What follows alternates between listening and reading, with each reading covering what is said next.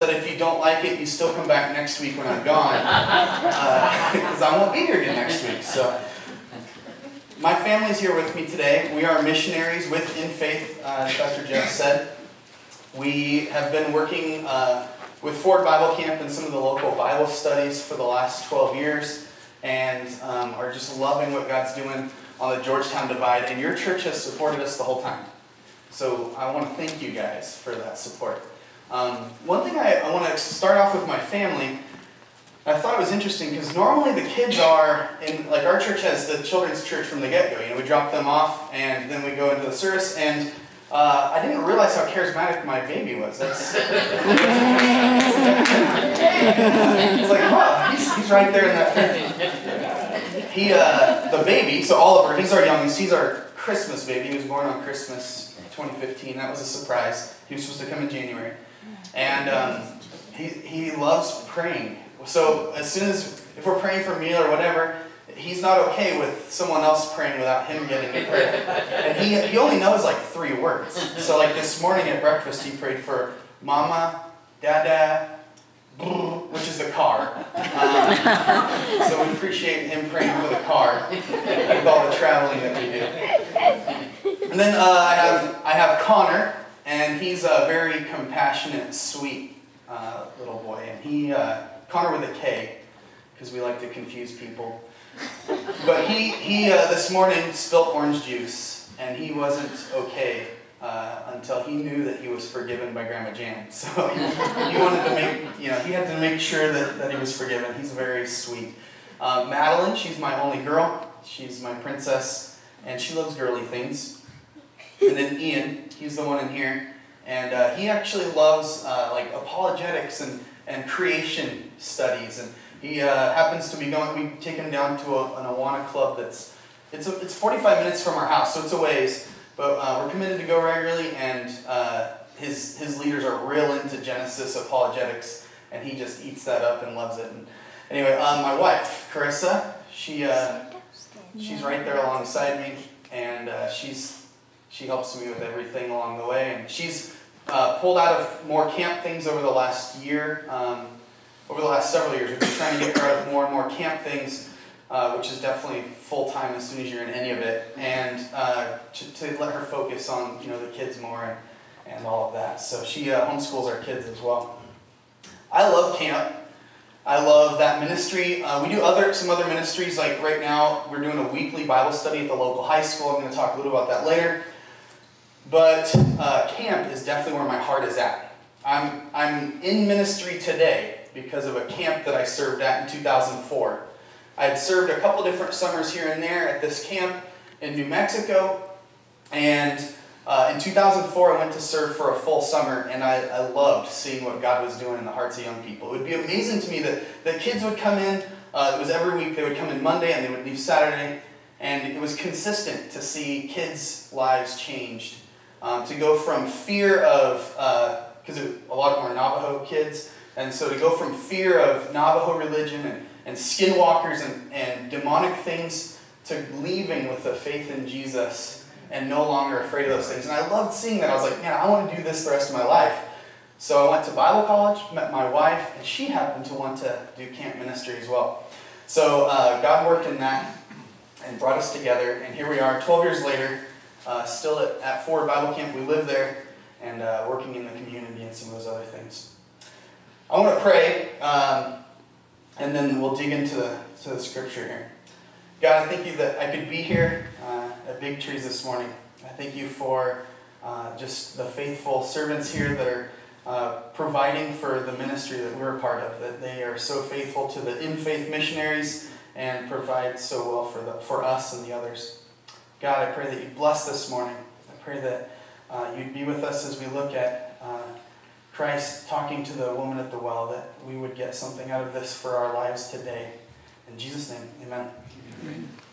God loves camp too. They were talking about that. I just got back from a conference called 3CA, uh, Christian Camp and Conference Association. And I, I happen to really appreciate what they do because it so points exactly to, to what I'm, you know, to where I'm at, at a camp. And uh, we have in-faith conferences, and, and they talk about you know missions and stuff. Is that is my kid running away?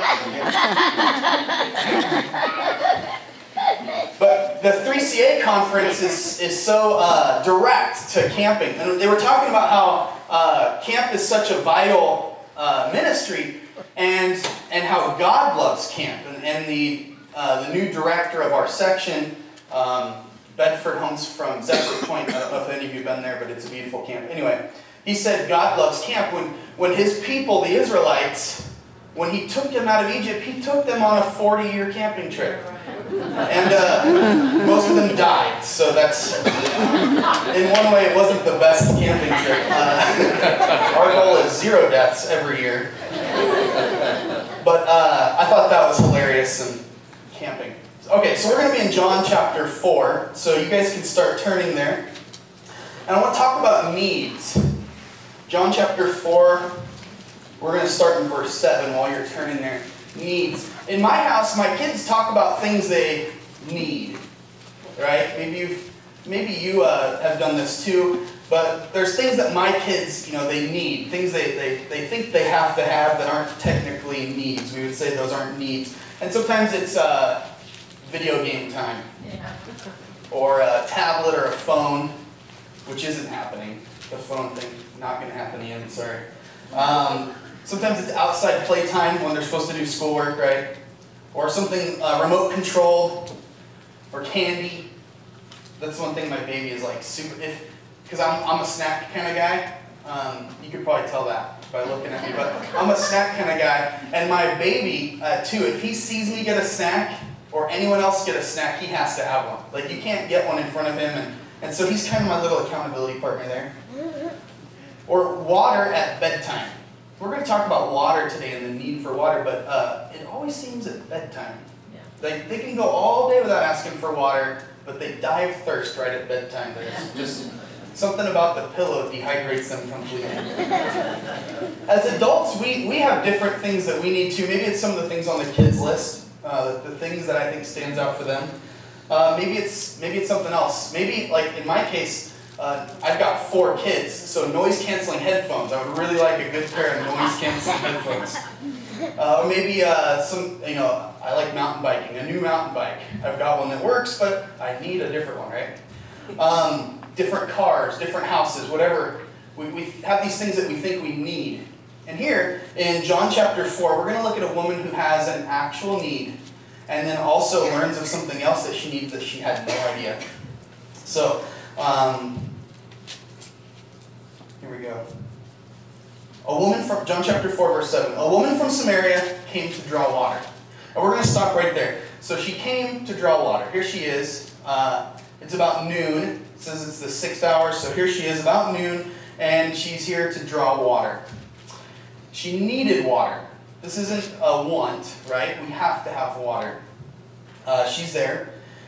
Recently, we had, uh, the camp was remodeling our house the bathroom that was uh, it was in need of re repair, and they uh, Mitch, or my father-in-law, one of the you support Mitch, and he uh, he's a contractor by trade, so he was gonna he, he helped he was starting to tear stuff out, and we had to shut off the water. We were without water for a week, and uh, you can't live there without water for a week. It's just it's not possible. So we were living in the Harmony house, which has no kitchen, and our house, which which has a kitchen and trying to figure out water, and, and it's hard because you can't do dishes, it's hard to cook without water, so it makes things extremely difficult. Um, we, we have to have water. We have to have water to clean. Um, water is super important, and, and we definitely realize how important it is when we don't have it. A friend of ours recently had a water a pipe break from the freezing. Uh, with all the cold weather and snow and stuff, um, there's probably someone here that have had a pipe break. And uh, she said that they, the one thing they noticed was throughout the day they would go and turn on faucets and be like, oh yeah, that's right, no water. Or they'd go and flush to try to flush a toilet and be like, oh yeah, no water, right? We realize the importance of this water more as we need it. It's, it's one of those things in our culture where it's so easy to get. Normally, you know, with that turn of the faucet, you've got nice, clear drinking water. Um, flush the toilet, it's, it's there. You don't even notice that it happens. Um, so here we are. Uh, she comes to draw water, and verse 7, the end of verse 7 there, Jesus said to her, Give me a drink, for his disciples had gone away into the city to buy food. The Samaritan woman said to him, How is it that you, a Jew, ask for a drink from me, a woman of Samaria? For Jews had no dealings with Samaritans. Jesus answered her, If you knew the gift of God, and who it is that is saying to you, Give me a drink, you would have asked him, and he would have given you living water. The woman said to him, Sir, you have nothing to draw water with, and the well is deep. Where are you getting that water, that living water? Are you greater than our father Jacob? He gave us the well and drank from it himself, as did his sons and his livestock.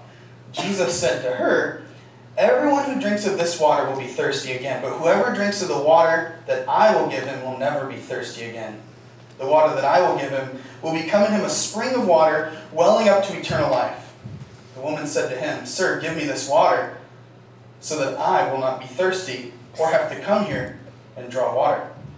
So the woman here, after this conversation, this point in the conversation, doesn't understand what's going on. And Ian, Ian says, because I, I went through this with my kids to see where they were at on, on the understanding of this, and I read that and at the end of that, but without asking anything, my daughter, who's six, goes, She doesn't get it. She doesn't get it. She, she doesn't understand. Uh, she still thinks he's talking about actual physical water, right? Um, she's like, Hey, I don't got to come back here. I don't got to come deal with this drawing water. Right? I don't have to come back here in the heat of the day so that I don't have to talk to anybody. Which we'll get to why she doesn't want to talk to anybody in a little bit. But um, she, she's thinking, This is great endless water. Don't got to go to the well. Don't got to walk over here. Don't got to walk it back. Don't have to draw it. Um, so she's looking forward to this uh, physical water that she thinks Jesus is talking about. Um, what Jesus is actually offering is salvation through him. He's offering a relationship with God and freedom from sin. We often don't understand either this importance, uh, this spiritual need compared to water. He's comparing it to water because it's something we have to have. In survival, it's, it's number one, right? Um, depending on the, the weather and stuff, if it's scorching hot, you actually need shelter first because you lose more water being out in the elements. But there's, for the most part, it's water. And, and the reason that it could be some other thing, like shelter, is really just to preserve the water that's already inside of you. So it, it comes down to we have to have water. And uh, Jesus is saying that our spiritual need is as important as that water. Now, I think it's interesting the way God provides in, in unexpected ways, like for this woman, she came to this well expecting to get physical water and was learning about the living water that Jesus offered. Recently, at that conference that I was at, we had a speaker, a guy that I'd never heard of before, um, named Steve Carter. Come to find out he's like a famous preacher, but I hadn't heard of him yet.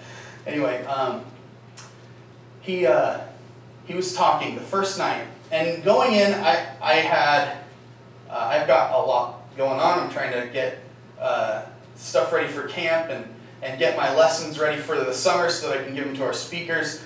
And so I'm, I'm just thinking about all these different things. And I'm thinking about this woman at the well. And I'm, I've, I've got a page up on my phone while we're getting ready for chapel. I've got like 20 minutes before he comes up and speaks, and I find this, this great article on this woman at the well. And so I'm reading it, I'm like, oh, bookmark this, save it for after, because there's no way I'm going to get through it all in time. Anyway, so I'm thinking about this woman at the well. And uh, he gets up, and in his sermon, he says that he was in Bethlehem, on an actually, actually in Bethlehem. The speaker was there. And um, he, uh, see, I, I, haven't been to Bethlehem myself, but I guess, uh, you know, the, the Palestinians and the, the Jewish, the, the Israelites, Israel, they, they're, you know, they're fighting over the Gaza Strip and they, they want like the same land. And uh, so there's both soldiers at this one part of the city. And he explains that he's there and he's trying to go to internet. He, he wants to go to this cafe, or it's a, he said it was a, a like a hookah lounge that has free internet. So he's trying to go over to this hookah lounge for the free internet, and he's thinking, internet, internet, internet. I want to go to the internet. And he goes and uh, walking over there, he sees these three Palestinian soldiers. And he feels that God's telling him to talk to these three guys. And he's like, that seems more dangerous than I'd like to do. I really just want internet. Um, I'm not, you know, I don't know what to say. What if they don't speak English? So he goes and he talks to them, and, and sure enough, they speak English. And he says, are you, are you guys from here? Are you guys from Bethlehem? Where are you guys from? And they said, and I, I wrote down a couple details because, like I said, I'm not familiar with the area. But um, he said they were from, two of them were from uh, Balata, which is a UN refugee camp. I'd heard of the camp before. Anyway, but I guess it's a UN refugee camp. Uh, it has 35,000 people on a 1.35 square mile area. So it's tons of people. He said you work you work between where they're living and, and the different sites, and you're like squeezing between things. Anyway, so two of them are from that. And he was supposed to do a tour of that camp with his with his group the next day. And so he says, Hey, would you guys mind, you know, giving my giving my, my group a tour of that place? And they said, Sure, we'd love to, you know. So they plan a meetup, he meets up with them, they show him around the camp, and he goes, Hey, have you guys been to that church that's on the, you know, just outside this camp? Um, he's like, it's, it's pretty interesting. And, and they said, no, we've, we've never been to this church. And um, so he goes and he takes the, the, the Palestinian guys, the guards, into this church. And at the bottom of the church is this well. The Samaritan well is still, it's still there. They've built a church over the top of it. And he shows them this well and he asks them um, what they want most in life. And they said, peace. And um, he said that he was explaining to them the, the passage of Jesus and this woman and how they can have that peace with Jesus. And he led two Palestinian guards to Jesus at this, at this well in modern day, um, right there outside the, the UN refugee camp. Um, and I was like, what? Like, what a crazy story. And then, like, as I'm, and I, walked up to him afterwards, I'm like, all right, I need more details on this story. This is amazing um, that, that God provided for, well, originally the Samaritan woman, and then in modern times, he provided for those Palestinian guys, you, right? And you were willing to share with them. And then here, I get to talk about it this morning, and I'm excited because I couldn't believe it came up like that. It was just a shocker to me, right? And it's just amazing how God provides. And in this, in this way, he's talking to this woman, and he's providing for her whether she understands it yet or not. She's about to. So here we are in John chapter 4, verse 16. Jesus said to her, Go call your husband and come here. The woman answered him, I have no husband. Jesus said to her, You are right in saying, I have no husband, for you've had five husbands, and the one you have is not your husband. What you have said is true. The woman said to him, Sir, I perceive you are a prophet. Our fathers worshipped on this mountain, but you say that Jerusalem is the place where people ought to worship. Now, this interaction, just like most interactions with Jesus in the New Testament, are very unique. Um, but this one, I, I, find so many things as I'm reading it every time I'm like, this is so like, the way Jesus says things, the way people respond is so different than, than normal, at least uh, from my Western thinking. Um, First, he knows exactly her past because he said he has it. He tells her the one when she says, "I have no husband." He says, "You're right. You've had five, right? And the one you're with isn't your husband." So he knows that, but he doesn't start there. He starts with, "Go, go call your husband and bring him here," because his goal isn't to call her out on her sin. His goal is to get her to think about her sin, for her to come to the point where she realizes she's sinned and needs a savior. And I think that's amazing. That's just, it's, it's interesting, and uh, I love it. So this interaction is interesting. Um, her response, I have no husband. Uh, in, one of my, in one of the commentaries I was reading, it said, this is the shortest response she has. Her response of, I have no husband. Throughout the conversation, it's a pretty good conversation, back and forth. Jesus says something, she has a pretty good reply. At this one, she's like, uh, I have no husband. Right? It's just a quick little, let's move on to a different topic, you know? Um, and then when he says what he says, you've had five and all that, she says, uh, Sir, I think I'm perceiving you're a prophet, right? I'm starting to I'm starting to see you in a different light. I'm starting to think you're something different than what I thought. I thought you were a teacher, now I'm thinking prophet. And then she starts to talk about where her people worship and where his people worship. And this is interesting because she's changing the subject. She's moving on to something else. She's moving on to something else that she thinks will bring up an argument which is better than talking about her own sin. Right? Because uh, there's comedians I've heard that talk about how people don't want to talk about religion. Right? That's like the last thing people want to talk about. Um, but I think the last thing would actually be our own sin, right? So religion's pretty high up there if you don't want to talk about that, or people generally don't want to talk about that.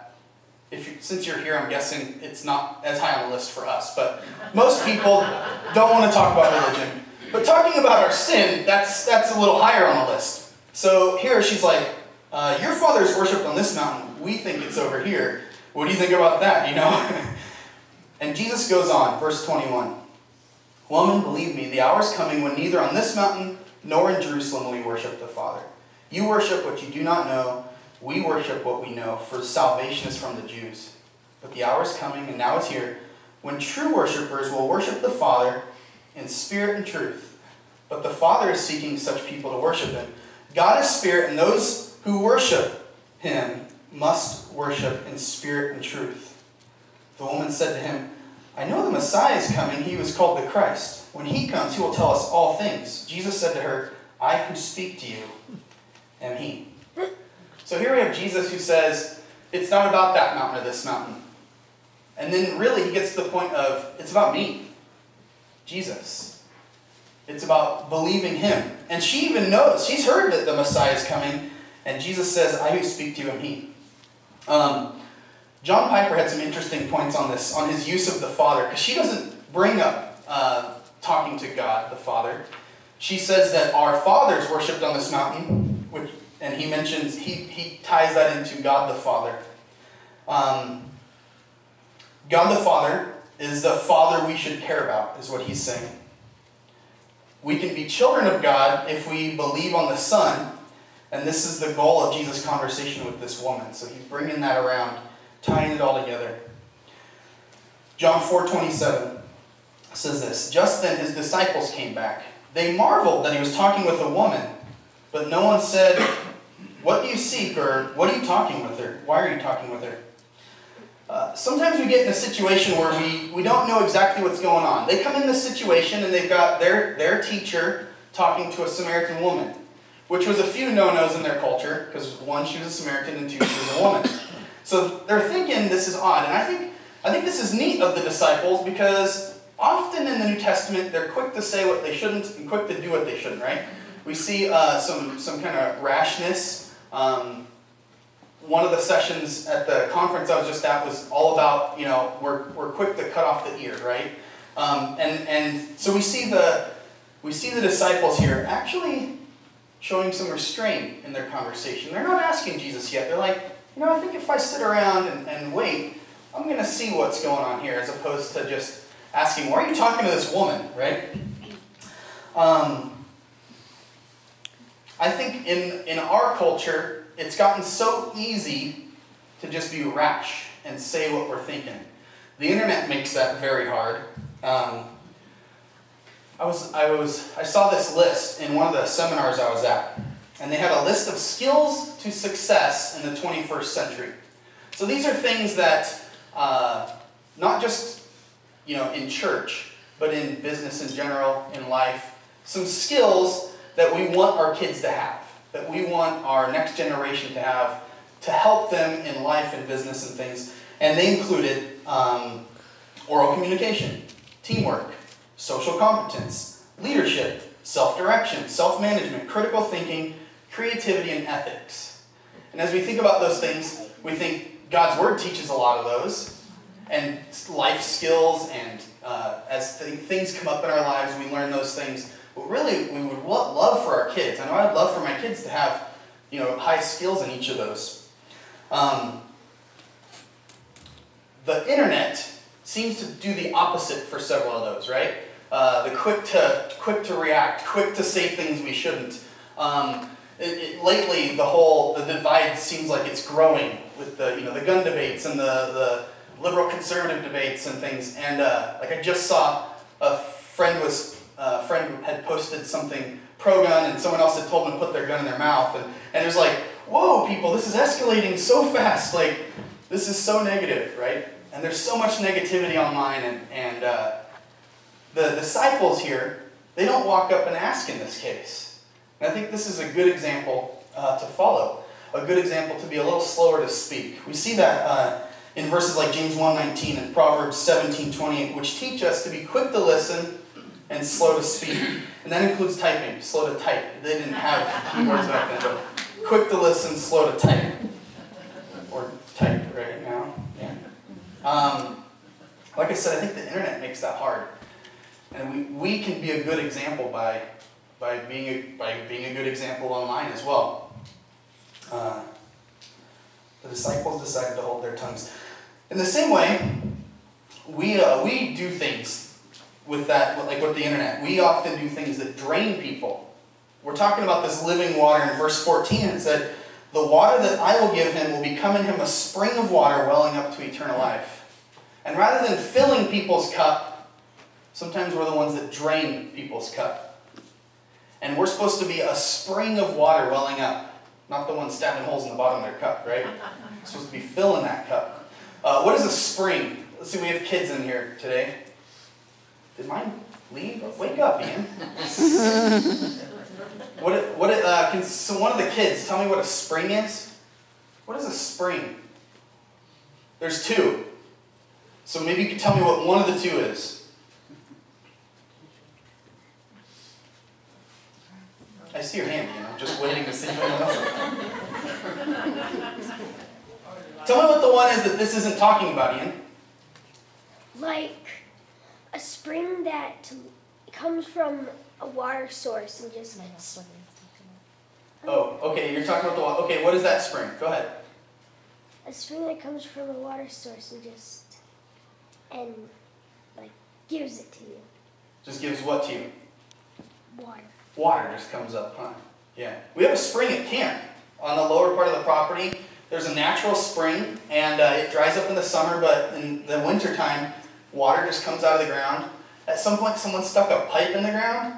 I'm not sure why they, that happens, but why they would do that, but they stuck a pipe and it just comes out of the pipe there. Um, and it's a natural occurring spring. You don't have to pump it, we don't have to pay for a pump it automatically comes out of the ground. The other kind is the kind like you compress a spring, you know, like a, you have an, even a pen. If you take apart a pen, there's a spring, you know, compress it and it comes back. Okay, a spring though, like we're talking, is a water spring, and it just comes out of the ground naturally.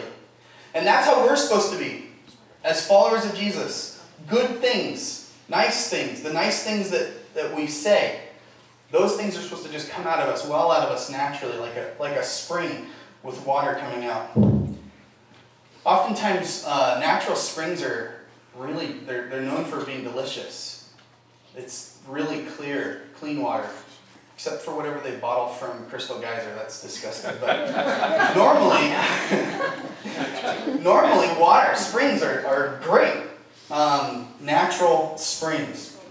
They're supposed to be good, good, good, delicious water. Um, a spring often looks like us telling others what God is doing in our lives. God is doing stuff in your life. Sometimes we don't, we don't notice it, we don't write it down, we don't tell other people about it, but God is doing stuff in our lives. Uh, the, the speaker at the conference encouraged us to think about the last week. Not think about the things God did several years ago, but in the last week, what has God done in your life? Because He's doing things right now and we often uh, miss those because we're thinking about some big thing in the past, or maybe not even thinking about what God's doing in our lives. But let's, uh, I'm going to just read a verse here. Uh, Acts 1 8 says, But you will receive my power when the Holy Spirit has come upon you. And you will be my witnesses in Jerusalem and in all Judea and Samaria and to the end of the earth.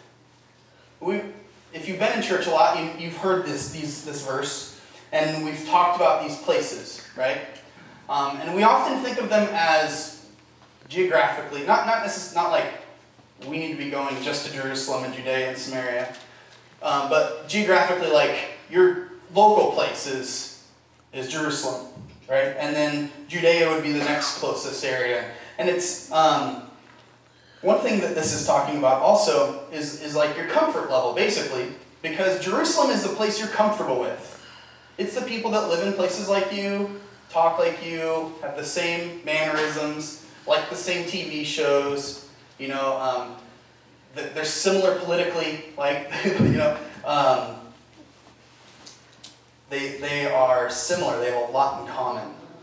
Judea is the next closest. They look like you, they have some similarities, um, they uh, talk and communicate like you. There might be a few differences, right? As we get further down into Samaria and the end of the earth, we start to get those that are Samaria, the, the Jewish people looked down on the Samaritans. Um, that's why one of the reasons why it was so odd for the disciples to see Jesus talking to a Samaritan woman was because they looked down on them. They were half breeds. They were people that they, they despised. And uh, not only that, they twisted what they believed and they worshipped on a different mountain, right? So they, uh, they were different religious and they were different. Um, they looked down on them because they, they looked at them as half breeds. And um, for us, you know, that might be someone who thinks different than us politically or someone who uh, has a different way of, of, of doing things or, or uh, the, the charismatic baby in the back, right?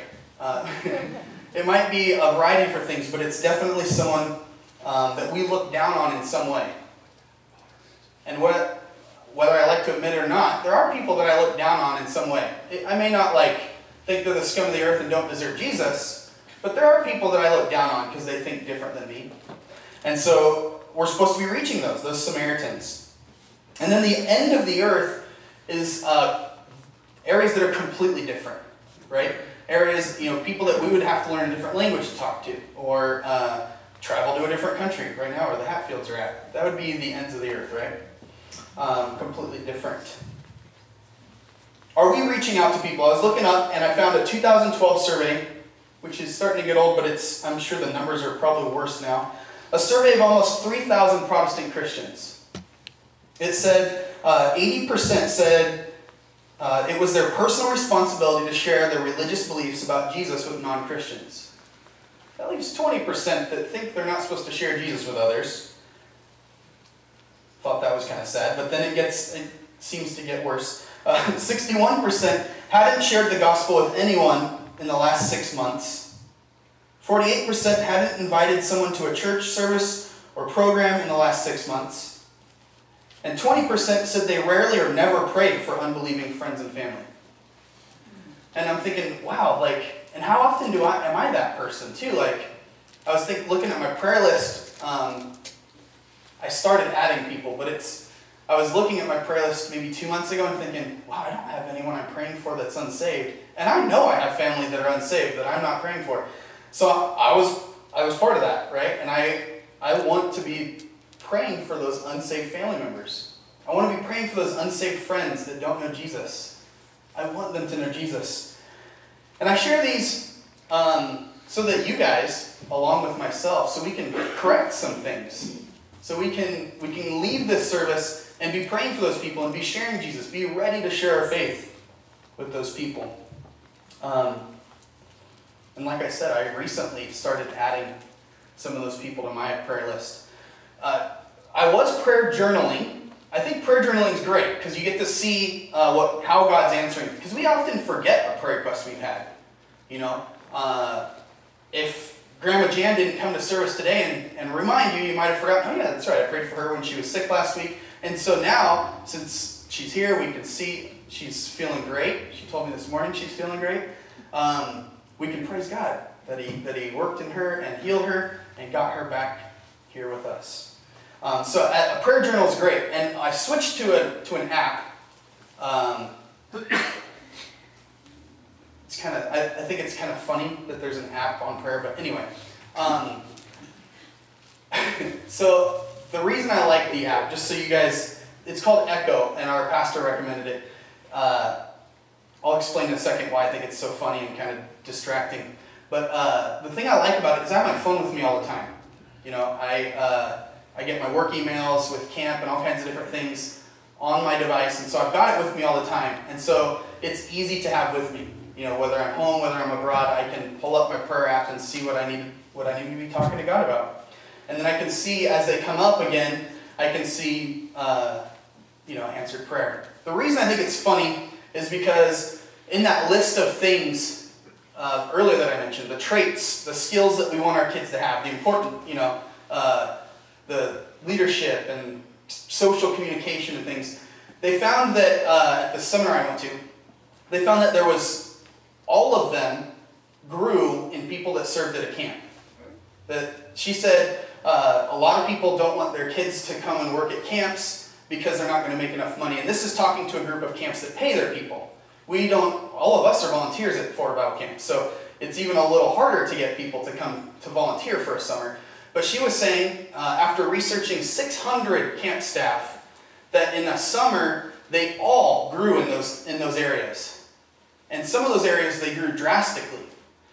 There was one thing that took away consistently.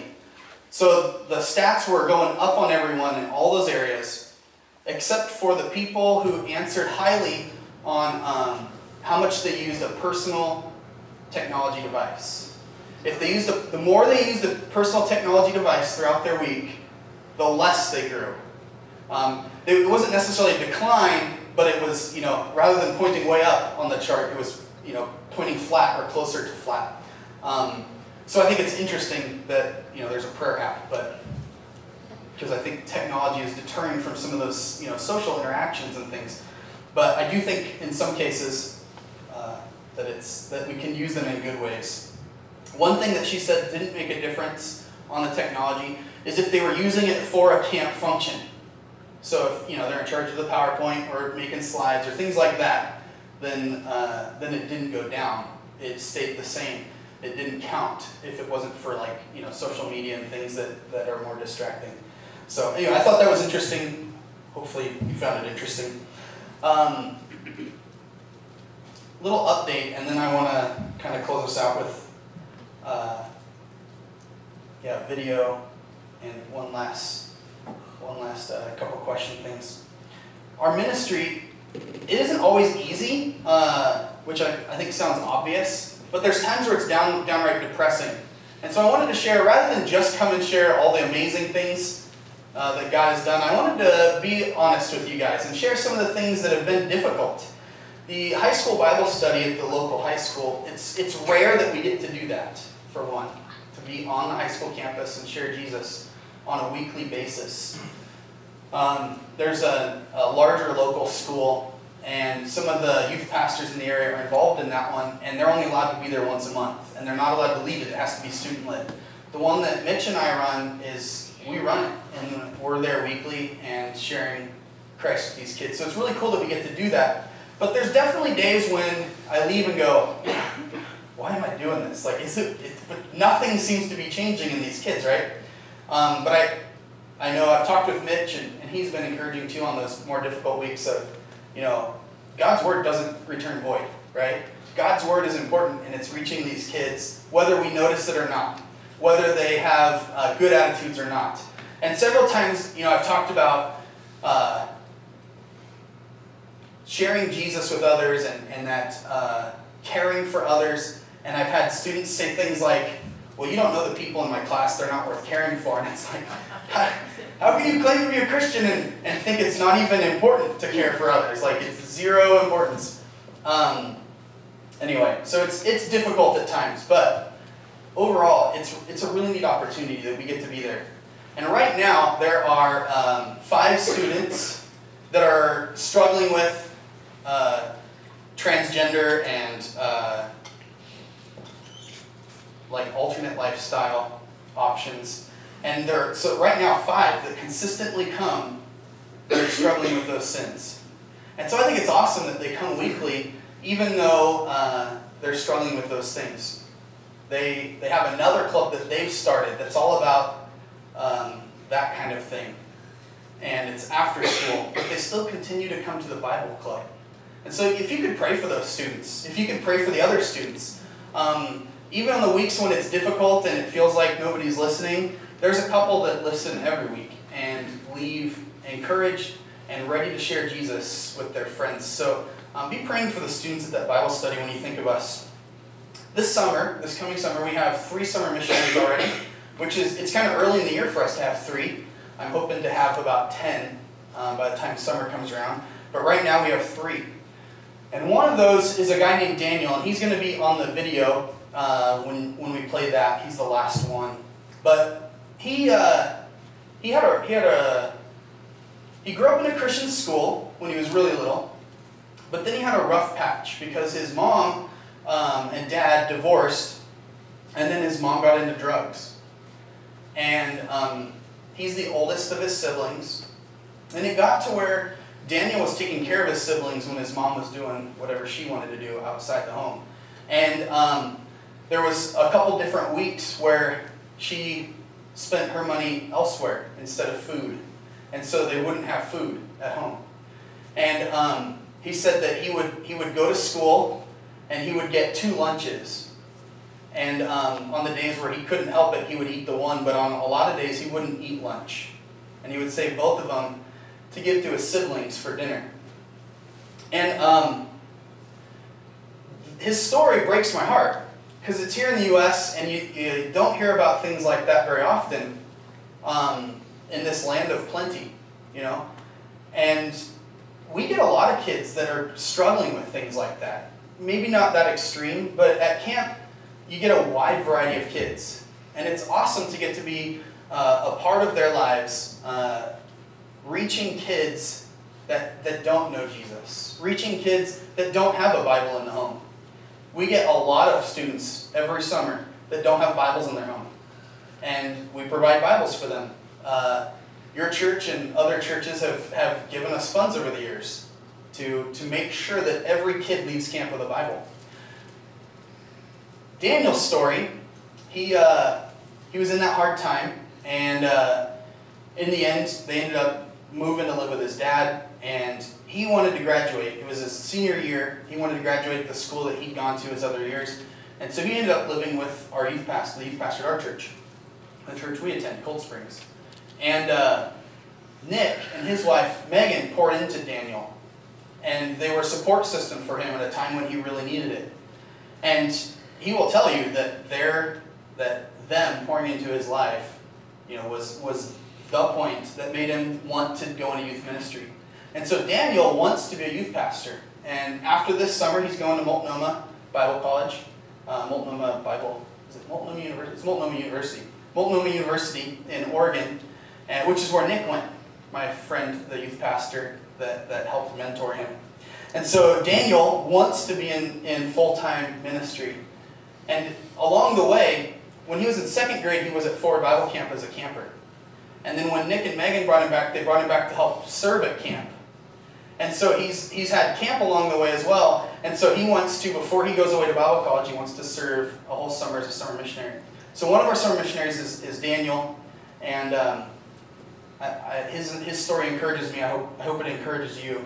We want to, uh, we want to be reaching those kids, the kids that need, need God here in the U.S. Um, recently, we had a pipe break at camp. And we weren't sure if a pipe broke or what, because we didn't lose all of our water, we just lost water pressure, and it wasn't a lot, but it was, anyway. So we, uh, we assumed there might be a pipe broken, and we checked around for it, never found it. And one day Brian, uh, who is, him and his wife, Brian and Norma, they live on the property now, and they're, uh, basically, they re he retired, and they decided to volunteer full-time. So they live there on the property with us, so they're two of our staff. And Brian was, there's 20 inches of snow on the ground, and Brian's thinking that God's telling him to go for a walk. And he's like, why? Okay, like, like why would I go for, okay, you know, this seems odd. You know, sometimes we, we wonder too, is this God or is this just like, what is this? Like, why would I go for a walk in 20 inches of snow? He doesn't really like the snow. In fact, he, he will tell you, he, he's in charge of clearing the snow now, which I'm glad because I used to be. He's in charge of clearing the snow and he hates the snow. So he goes, he goes with his dog and they go for a walk in 20 inches of snow. And they walk out to the ball field, which if you uh, are familiar with the camp, that's a ways. That's walking in the snow for, for a while. So, and he finds the leak. It's spraying all over the ground and, and it's, he wouldn't have found it without that walk. Anyway, I think it's interesting because God is guiding us. And if we are looking for him, if we're you know, writing notes and taking those that prayer journaling serious, and we'll start to see God working in those situations because God was working even in telling him to, to walk through the snow. Now, I personally, like I've mentioned, really want I want this living water. I want I want it to flow out of me, and I know you guys do too. Um, I want the same for you guys. I want you guys in your church to be a spring up here in, in Arnold, Big Trees, right? Um, I want your church to be a spring to this community. And a couple of things I'm working on doing, and, and I would love it if you guys would join with me, if you're not already. Um, reading, reading my Bible daily. I want to read my Bible daily. Um, there, at my church, we use a their YouVersion or Life.Church has a has a Bible app. It comes back to an app again, I know. Um, you can also read a paper Bible, that works too. But anyway, one thing I like about it though is that it, there's some accountability there because I've got friends on there as well, and um, like I'm going through the New Testament with my buddy Nick. We're both on the same reading plan. I can see the days that he hasn't read, and um, he can see the days that I haven't read. So um, there's some accountability there. Anyway, but read our Bible daily. Uh, keeping a prayer journal, like I said, so that we can see God working, we can see those answers to prayer. Uh, I want to, I, I, I've invited my family to join along me. Invite your family to join with you, you know, in that, reading your Bible daily and, and keeping that prayer journal. One thing I do with my kids now, instead of just praying with them before bed, because I was, I'd make sure that we were reading the Bible and praying with them before bed. And one thing I do now is on, I'm, i give them a prayer request. I say, all right, Ian, it's your turn to pray for you know, uh, last night I think you got, it was one of the siblings, huh? I got Maddie. You got Maddie, yeah. So he prayed for Maddie, you know. And um, Maddie got uh, our friend who's a missionary in Cameroon. And so just going through this and keeping track of, of, of God working in these lives. Um, Chris and I got to see someone in our small group. We're, we're leading a, a parent small group. And uh, at our church, we just started doing this it, it had never worked out before to lead a small group because we're 45 minutes from the church. So we drive 45 minutes, and nobody wants to go to our house for a small group. No, it's not a thing to go 45 minutes to a small group. So um, someone at our church who lives a lot closer volunteered their house, so they're going to be the host, and then we're going to help lead the Bible study. And uh, so we just started that, and it came off of a book that we were going through called Spiritual Parenting, uh, putting an emphasis on our parenting, uh, spiritual emphasis on our parenting. And so after that, we're like, the, the host family and us, we're both like, man, we want to see these families continue to grow closer to each other and closer to God. And so we wanted to do this parenting, uh, a parents small group. And uh, one thing that, as a family, we want to invite our family along because it's important that we do these, do uh, spiritual things with God as a family. So I want to encourage you to get your, your families to join with you. At our church, there's a, they do a, they talk about one more. The, the idea that you would invite one person to church, invite one person to a special event coming up, or the, the sandwich day, which I hear is very popular, right? Sandwich day is very anyway, right? You, you guys do sandwich sandwich, sandwich Sunday? Yeah. It's very popular though. Yeah. So invite someone to that. Sounds like it's really good, a lot of fun. Um, invite someone to that. Pray for that one person that you would invite. Pray that they would say yes when you do invite them. Um, I give one more. So, as a family, like who are we going to invite as one more? Think about your family, who you can invite to have that one more. And um, I want to pray for you guys before I show you a, a camp video. And uh, pray that you would be able to do that. God, I thank you for this church, and I thank you for the, the faithful that are here. I thank you uh, that we got to look at your story of Jesus talking to the Samaritan woman, and I thank you that we get to be a part of your story. And uh, I pray that you would help us to invite people in, that we would be bold in, in asking people if they could could join us at church, if they could come to an event, and if we could share the gospel with them, God. I pray that you would help us to look for those opportunities. Um, I thank you that we get to be uh, part of other people's lives just like you've been a part of ours, God. And I pray that we would be a spring, that this church would be a spring in this community, that you would help them to uh, be bold and, and be gracious. I pray that we would be slow to type, slow to talk, and quick to listen. In Jesus' name, amen. Amen. All right, let's, let's see if I can get this. You said forward one, and then click. This is a family that very quickly adopts you they take you in and make you a part of the family. One of the things I would say is that many of the young people who are part of Camp Forward, they're in touch with you during the year as well. So it's not just what happens here at camp, but it what's, it's what happens. And again, I think this goes back to the family atmosphere that the camp is so good at producing. uh, it's like they're talking to their uncle or someone like that rather than camp director or pastor or counselor. You come to serve, but you end up being incredibly strengthened and encouraged and refreshed, um, no matter what your role is. So when I was a leader at junior high boys, I uh, had two campers that were polar opposites in their personalities, and uh, rough. And, and on the last night, Pastor Dan had a message on you know the gospel and what it means to accept Jesus Christ as your Savior, and both of them rose their hand, made me realize why I keep coming back. Good investment. Um, it's an investment in an eternal thing. So I mean, that's really that's the big thing for us. Um, is just knowing that the investment is something that that is going to last forever. So even though I grew up in the church, camp was the first place that I realized that Christ really had something in mind for my life, uh, ways in which He wanted me to serve. I needed to own my faith in Him for the kids in church, they get to practice their faith without their parents there, without their family. It does become their own. And then some of these kids have never heard the gospel, and so they're hearing that for the first time. It is, it's more intimate than many other camps. You'll get to know the people you're here with, the volunteers and the campers. You'll get to know them, or at least quite a few of them. I would also say that um, another way in which Ford Bible Camp is unique is the potential for you to serve here in some capacity. That potential is really high at Ford Bible Camp.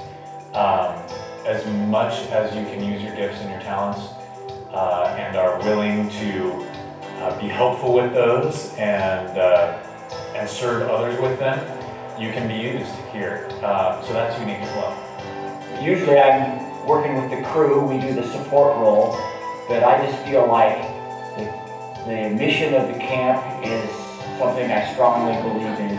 And if I can be a support to help uh, kids hear the gospel and hear the implications of the gospel, uh, that's uh, greatly worth it to me. It's a great place to work. I love working uh, under Mitch and uh, I feel well appreciated.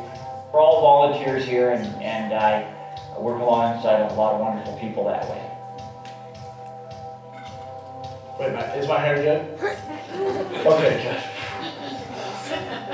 I came when I was like a little kid in uh, fourth grade, and I always wanted to be a volunteer. So then once I hit high school, I started volunteering at fall camp mainly. This is actually my first summer here, but uh, would volunteer at fall camp and do whatever I could. Uh, the main thing that draws me back is kind of just being an influence in the kids' lives that are here. I know a couple of kids that go to my church where they went home and their parents came to TJ and were talking about how much they enjoyed camp and talked about all the verses that they memorized. And one of them memorized every single verse for the whole week, and they were so excited to share every sermon and everything that was said that impacted them. At my church, we have a saying that um, happiness is made here and shipped to places like Disneyland and Six Flags.